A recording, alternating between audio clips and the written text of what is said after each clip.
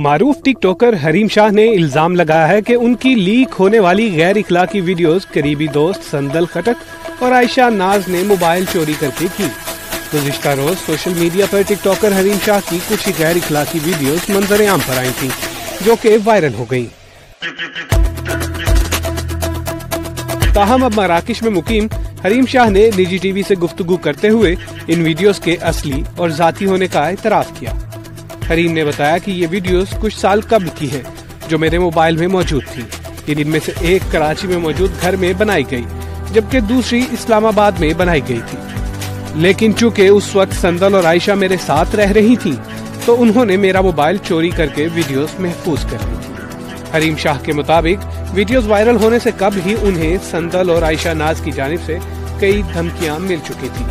हम तुम्हारी videos viral कर देंगे।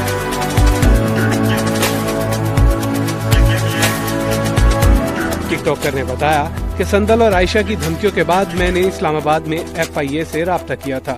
लेकिन मेरी शिकायत पर मुझे कहा गया, जब तक मवाद मंजर आम पर नहीं आ जाता, कार्रवाई नहीं की जा सकती।